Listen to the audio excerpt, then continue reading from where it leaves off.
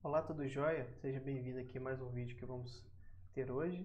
Hoje nós vamos continuar nossa série sobre Admin LTE, nosso é, template gratuito, né, para utilizar nossas aplicações em Laravel. É, hoje nós vamos falar sobre menus dinâmicos, que são aqueles menus que a gente consegue é, criar automaticamente através de registros que nós temos na nossa base de dados, né? Sem ter necessidade de a gente colocar diretamente no arquivo de configuração do Admin LTE. Então a gente consegue fazer isso aqui nessa seção do, do menu Configuration. Vou deixar o link na descrição aí para você dar uma olhada. Vou te mostrar de uma forma bem prática como você pode fazer isso aqui funcionar buscando é, de, uma, de um modelo né, da sua base de dados. Eu deixei aqui já o projeto aberto, tá? É, também está tá disponível no GitHub, vou deixar o link na descrição do vídeo. Logo aqui na, na Branch Dynamic Menu. Então lá você pode pegar o código desse vídeo, ok? E todos os ícones que nós estamos utilizando é padrão do próprio AdminITE, que é o da fonte Awesome, que é a versão 5. É, estamos usando a versão 5, que é grátis, né? E a gente vai usar todos esses lá na, quando a gente for gerar os menus. Então são esses, esses ícones aqui. Então, vou mostrar aqui o, um pouco do projeto. É, vou abrir aqui o nosso terminal, lembrando que eu rodei alguns comandos. A gente vai ver esses comandos depois. Vou abrir aqui o nosso Tinker.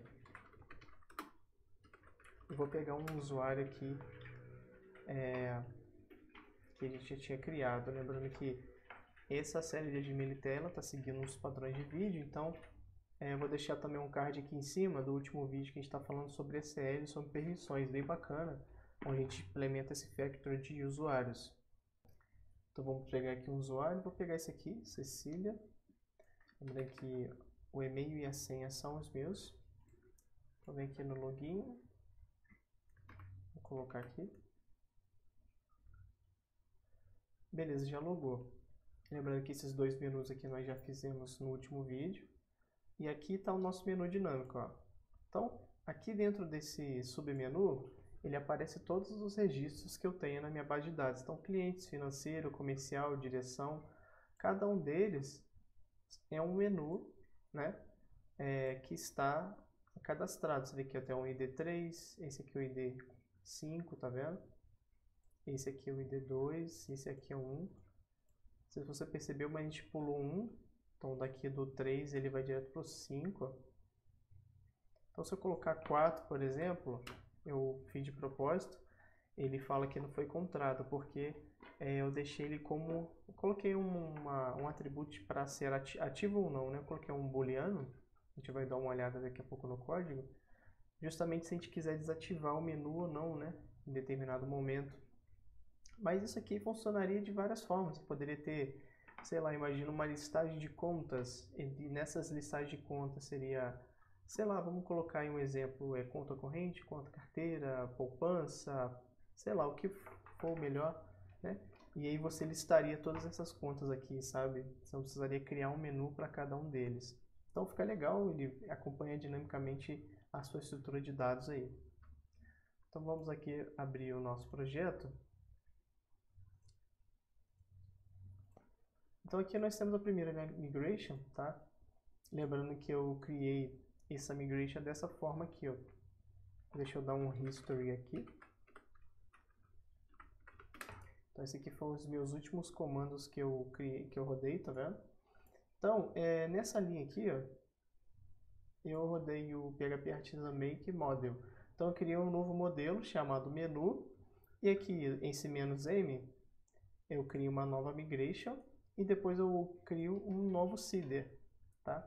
Então, em vez de de eu criar manualmente a migration, o seeder, eu posso fazer isso aqui já na criação do modelo, tá vendo? É bem prático também. Então eu já criei aqui pra gente, ó. Então essa aqui é a nossa migration, tá? É, tá aqui, ó, eu tirei o, o geralmente ele coloca um S no final, eu tirei, né? Tirei só menu. Então ID é automático, primary key, aqui uma descrição, o ícone que nós vamos armazenar, o ícone, a, a chavinha, né? Do fonte alça e aqui se ele é ativo ou não, beleza? E o down ele exclui a nossa tabela de menu. Beleza, aí agora temos o CIDER. O CIDER são cinco linhas tá, desses menus. Então é clientes, financeiro, comercial, suporte, direção.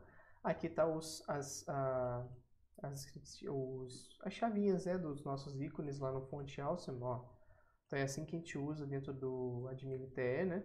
dentro do é, nosso arquivo de configuração, que é, de, é, que é o config admin.te.php.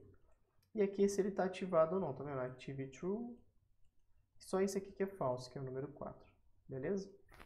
Então isso aqui você poderia colocar no, no CRUD, né? Criar um CRUD para ele para você criar pela aplicação os seus menus. Né? Eu coloquei dessa forma aqui para ficar mais prático para a gente poder é, focar aqui na, na nossa integração aqui do, dos menus dinâmicos. Então beleza, aí depois que eu criei isso daqui tudo, eu vim também na tem aqui dentro dos nossos modules. Já criou aqui o menu, tá vendo? Como a tabela não era menus, eu tive que forçar aqui, colocar esse public table, para dizer que a tabela, o nome dela é menu e não menus, tá? Ele, o padrão é sempre é, plural, né? Então tá, criamos aqui e depois que fizemos isso tudo, nós rodamos um comando, que é o php artisan dbsit class cd. Tá? Se você estiver é, rodando o projeto pela primeira vez, tem aqui uma colinha do próprio GitHub que eu sempre deixo, que é que você vai rodar um comando simples. É, nesse caso aqui é só o migrate, né? Mas você faria assim, ó, migrate, que ele já publicaria tudo para você, migrate traço traço seed, beleza? Que ele publicaria todos os seeders que estão lá na pastinha. Na verdade, ele vai rodar esse cara aqui, ó. Vai rodar o nosso factory, vai criar nossos usuários depois vai criar, vai rodar o seeder de menu. Beleza? Então, vou fechar esses dois aqui. E aqui dentro do, da configuração da admin LTE, dentro de config admin LTE, lá embaixo, chegamos em menus aqui, menu. Lembrando que agora, todos os nossos menus anteriores, se você já tiver algum, o ideal é que você coloque sempre um, uma chave, tá vendo? Key, ó. Então esse aqui, o home, vai ser uma chave, o dashboard vai, ser uma, vai ter uma chave, tá vendo? Porque quando nós formos rodar o serviço de menu, que é o build menu do admin TE, ele vai entender por esses caras, tá vendo? Key, tá vendo? Então eu criei um aqui chamado Dynamic Menu, tá? E o que, que ele vai fazer? Ele vai criar um menu como submenu dentro desse cara, que vai ficar exatamente dessa forma aqui, ó. Beleza? Vai ficar assim, ó. Esse aqui é o menu e o submenu dele. Então vai ficar dessa forma. E aí vamos ir aqui no... Aqui a gente trabalha com tradução, né? Então lá dentro de menu, vamos lá em aqui é o Resource, é, Vendor, né? Lang, Vendor, Admin TE. PTBR menu, eu coloquei aqui o Dynamic Menus, menus dinâmicos. Então ele traduz aqui essa chave. Beleza? Dynamic Menus. Mesma coisa aqui, ó. Aí ele vai imprimir na nossa tela, se for português, isso aqui, né? Então, beleza. E aqui em App Service Provider é onde faz a mágica toda acontecer. Então, é, na documentação, a gente tem que colocar esses dois caras novos aqui, ó. Que é o Dispatcher que é um gerenciador de eventos do Laravel, e o build menu, que é o, é o camarada responsável por criar o menu para gente. Né? Então aqui o que a gente faz aqui embaixo? Ó, na função boot, né, nós passamos o dispatcher como argumento aqui no, na função, né? E nós damos o, os eventos desse dispatcher. Então, quando nós temos um evento de build menu aqui, ó, estamos ouvindo o build menu, tá? é, ele vai fazer uma função anônima, tá? que vai rodar isso aqui para gente. Então aqui dentro nós temos os itens, né? Esses itens aqui pode ser, sei lá, aqui pode ter 10 itens, né?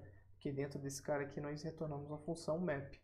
Então o que ele faz aqui? Nós vamos lá na nossa classe de menu, procuramos todos que são ativos, tá vendo? São ativos, então é uma coleção de menus que são ativos, e ele transforma isso aqui no map, uma lista para gente e ele retorna cada item. Então, se tiver 10, 20, 30, ele vai retornar, vai armazenar aqui na variável itens, beleza? E aí, o que, que nós fazemos? Nós já montamos, tá vendo? Lá pro do padrão do Admilite. Então, a chave que ele vai ser, então é menu. É, esse D aqui eu coloquei para ser um, um, um, menu único, né? Então, vai ser menu traço 1, 2, 3, né? dependendo do padrão de D que você colocou lá. Lembrando que aqui é um array, né? Que a gente está trazendo um map. Então, ele vai trazer um array. Sempre trazer um array. Então, não vai ser dessa forma como objeto. Vai ser um array com colchetes. O texto vai ser o que vai ser escrito, né? então é a descrição do nosso menu, a rota para onde ele vai apontar, e muito importante você criar a rota também. É, já vamos lá na rota, vou te mostrar. Aqui o Active não tem necessidade, mas você pode passar também para forçar, né? Quando ficar marcado direitinho qual que é a, rota, assim, ó. Chegou aqui menu, barra 5, aí ele vai entender que é esse cara aqui, tá vendo? Então aí fica marcado. E aqui a sacada, o ícone tá, é o ícone que nós estamos armazenando lá. Então, é, nós temos, estou aqui com meu Archimate aberto, então nós temos aqui, tá vendo? FAS, Users, então ele vai trazer essa opção aqui e vai jogar dentro do lado da marcação I, né? Class, com essa informação. Então fica assim, entendeu? E depois chega aqui embaixo, ele adiciona todas as coleções, né? Como é um array, então ele faz aqui um map depois ele joga cada item aqui com o Spread Operator. Então ele monta já um menu para gente. E ele monta onde? Esse ADDIN aqui que é interessante. Ó. Então, se a gente dá uma olhada aqui na função, ele busca uma chave, item key, né? Foi o que eu falei para você aqui, voltando aqui no admin Então ele busca uma chave, tá vendo? Tá lembrando que menu. Você também poderia colocar depois de é, é, dashboard. Então aqui, nesse caso, eu estou criando submenus, né? que é add-in. Existem outras, outras formas de você fazer, deixa eu voltar aqui, tem outras formas de você fazer, que é aqui, ó, adicionar after, então você vai adicionar antes, né, de alguma coisa, esse add-in para você adicionar dentro, que seria o submenus, e add before, add before ele colocaria depois, né, desse submenu, então se a gente colocar aqui add before, por exemplo, de dashboard, ele colocaria vários menus depois de dashboard. Vamos ver se vai dar certo.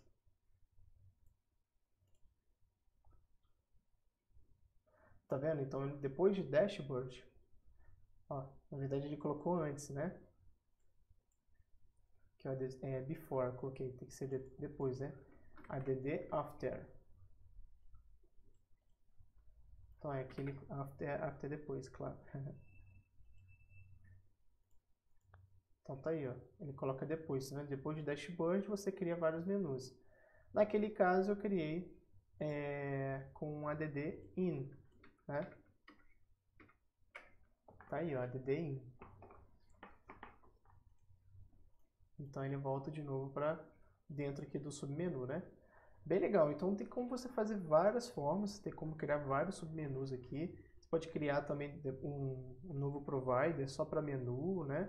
Para você não poluir muito aqui o seu, o seu service provider, mas é uma questão de, de organização mesmo do seu projeto. E aí chega nas rotas, né? Vamos vir aqui no nosso arquivo de rotas. Criei aqui uma nova rota chamada menu, que ela espera o ID do nosso menu, beleza? ele vai lá para o nosso home controller na ação menu. E esse menu aqui, ele tá, tá essa, aqui tem que estar tá escrito em menu justamente para ele encontrar aqui, ó, tá vendo? Então, route menu, então eu procuro uma rota chamada menu. Então aqui tem que ser exatamente o que está aqui no seu arquivo web. Beleza? Você pode trabalhar com URL também, né? Seria o mesmo padrão que você criasse um novo menu lá é, na documentação tá? Mas eu gosto de trabalhar com rota que fica mais prático também. E aí, beleza, aí chega lá na nossa ação Home Controller, tá aqui o menu, que espera o ID. Aí o que, que eu faço? Eu procuro o nosso menu, né? Aperto 1, 2, 3, 4, 5, verifico se ele existe. Se ele não existir, ele dá um erro 404, né? Que é não encontrar. Se ele existir, ele retorna na nossa rota menu com os dados do nosso menu, que seria a descrição, ID, ícone, né? Que é exatamente essa, essa view aqui, ó. Então ele vem para cá, tá vendo? Aí coloca o, o izinho lá, que é o menu, beleza? e a descrição, e aqui embaixo ele faz um, coloca a descrição também, bem prático, bem simples, só para exemplificar, tá vendo? Então ele fica com um ícone aqui, a descrição dele e aqui de novo a descrição. Bem legal, né? Então é isso que eu queria te mostrar. É uma função bem interessante que você pode usar em seu projeto. Eu já usei em alguns projetos meus. E fica à vontade para pegar lá no GitHub o código, tá bom? Se você gostou do vídeo aí, pode deixar um joinha. É, gostou do, do conteúdo do canal, pode compartilhar com as pessoas. Pode sempre deixar sugestões de conteúdo. Se você também tiver alguma dúvida, quiser entrar em contato comigo, meus contatos estão aqui embaixo. Fica à vontade para me adicionar lá no, no LinkedIn também. Fico feliz em ajudar nos seus projetos e também nos seus desafios aí, tá bom? Um grande abraço e até a próxima.